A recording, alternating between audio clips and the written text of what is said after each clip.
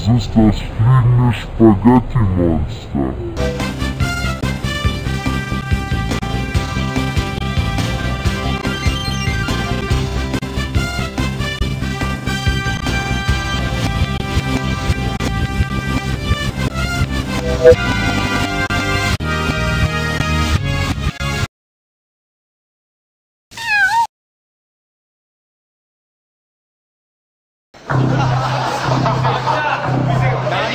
Let's go!